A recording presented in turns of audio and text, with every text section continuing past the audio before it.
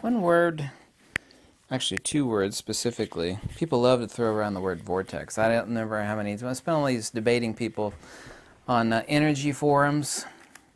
People love to use the word polarity and vortex all the time. It's like, oh, just go ahead and define that term polarity for me. Ah, yeah, yeah. It means it's got two poles. Well, you just made a description, but that's not an explanation.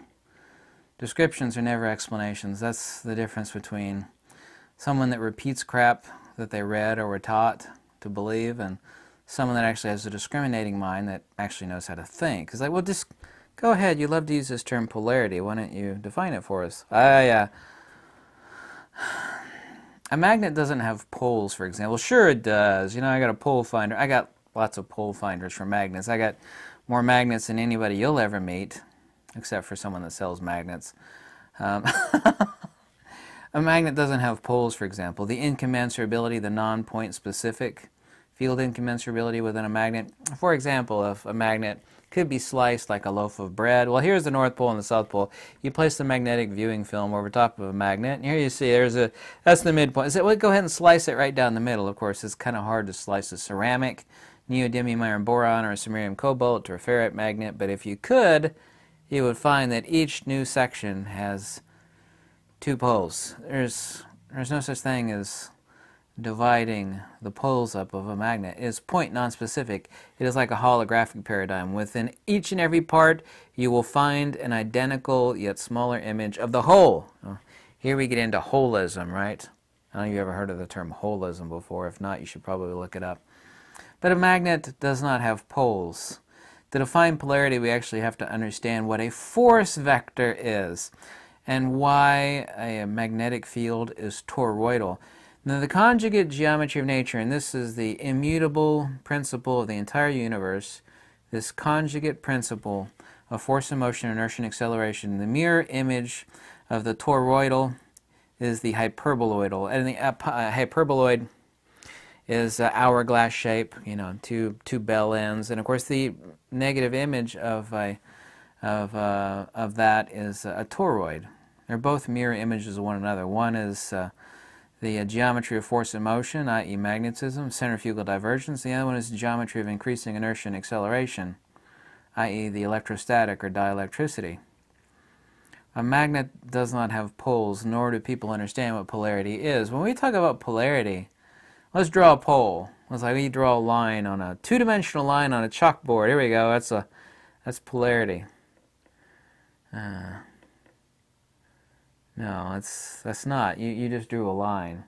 And Mother Nature doesn't draw a line like this. Point A to point B, that's a line. Okay? And this is one end of the pole and that's another end of the pole. No, Mother Nature's line, first off, is not two-dimensional. And it starts off like this from a null point in counter space, the release of energy, electrostatic, i.e. dielectricity. The release of that energy, which by the way, that equation for the release of energy, or the extrinsic principle of the dielectric or electrostatic, i.e. the agathon or the absolute, is tattooed right here on the inside of my inner wrist, which is my discovery, by the way. Mother Nature's line is like this, not like a human line. Uh, point A, point B, we're going to draw a line. You set your pencil on the paper, and then you draw a line. That's two-dimensional, and that's not Mother Nature's line. To define polarity, we actually have to think correctly. Polarity cannot. This is a three-dimensional universe, right? Everything that defines a three-dimensional universe is based upon magnetism. Of course, the universe only has magnitude and volume due to magnetism and magnetism only. So, the force vector that defines polarity and paints out or extrapolates out the hypertoroidal uh, excuse me, the, uh, the, the toroidal, pardon me, the toroidal geometry of, of magnetism is Mother Nature's line from a null point in counter space like this. Not like this or this, but from counter space like that. Okay, well that's merely two-dimensional. Mother Nature's lines like this. So we actually have to draw a correct force vector, and that would be a three-dimensional S-curve, right? a three-dimensional S-curve. I actually had a wire representation of a three-dimensional S-curve. It looks like an S except it's bent three-dimensionally. A true polarity, uh, polarity vector is, of course, dimensional. Not only is from a null point in counter space, but it is also mutually divergent from one another, not merely, it can't be two-dimensional, it has to be three-dimensional. And because it is three-dimensional, if you actually extrapolate that in fullness, you will see that it paints out the inside. Just imagine a donut, which is a toroidal shape.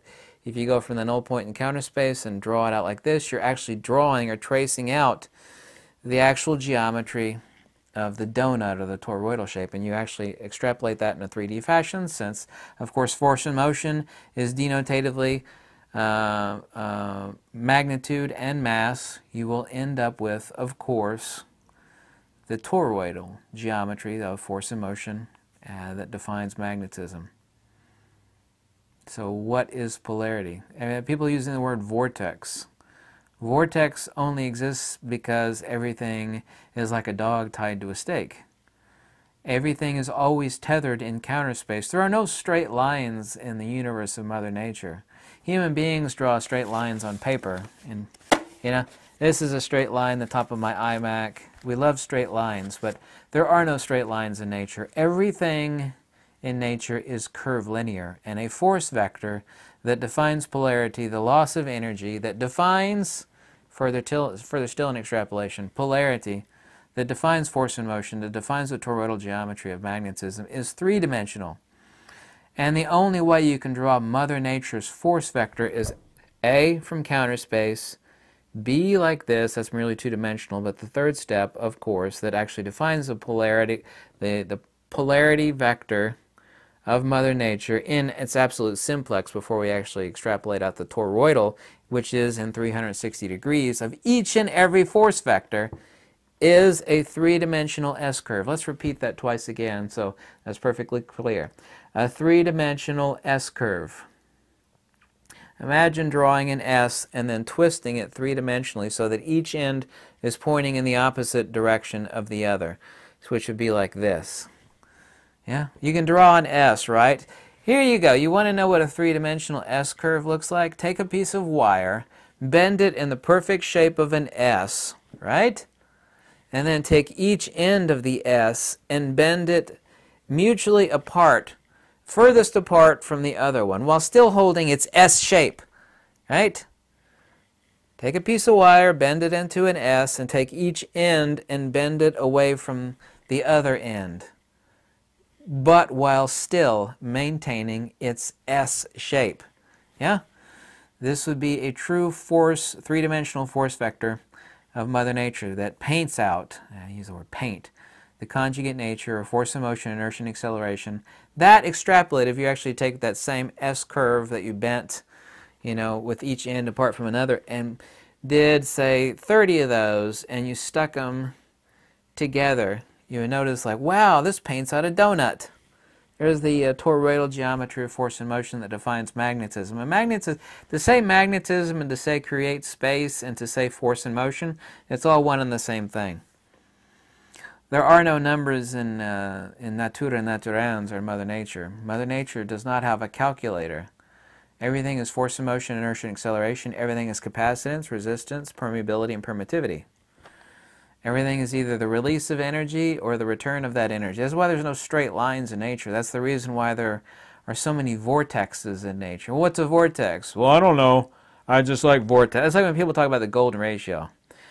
You stump people every time. I've read every book there is on the golden ratio. Okay. And now define the golden ratio. Well, I don't know. It's like pretty, you know, like a nautilus. You can't get anybody to define it because they don't know what the hell it is. Like, uh, mean, polarity, vortex, golden ratio. People will chirp these words endlessly and they haven't got a single clue in hell what the term polarity means, nor a vortex, nor the golden. I've studied the golden ratio endlessly. I love those people. I was like, good.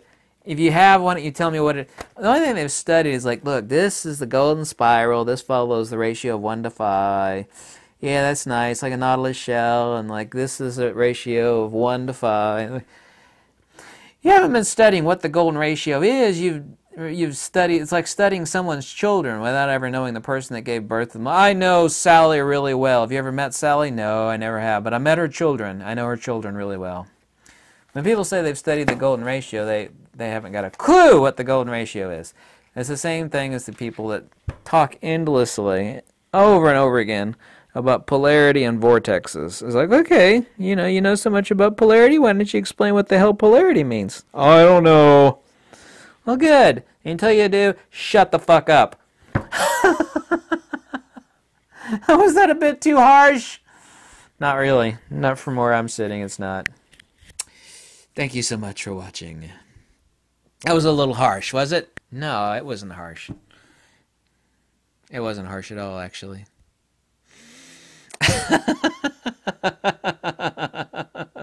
People think the universe is like this. You got physics here, and we got metaphysics here. And someone that has two ounces of wisdom's like, no, you don't have a tail here and a head here. You got one single effing metal that defines and makes up both. It's like, oh, I'm worried about the head, and the other guy says, I'm worried about the tail. And the guy with wisdom says, I only give a shit about what the entire coin is made out of, because the coin defines the head and the tail. You know, ultimately, when you melt this shit down, you just got the metal. And where the hell is your head and your tail when you melt this damn thing down? It vanishes. That's the difference between an empiricist and a rationalist and a Western existentialist. They're debating the head and the coin, uh, the head and the tail of a coin, not literally a coin, but of nature. And a true metaphysician, of which there, there aren't any more, except for me and like a handful of people, we don't care about this. We care about this the metal, the ultimate substance, the primordial foundation, the agathon, the euristos dias that makes up the attribute of the agathon. Yeah. And everyone tell me about the golden ratio. It's like, till you can define the golden ratio, shut up. Is that over the top? Maybe.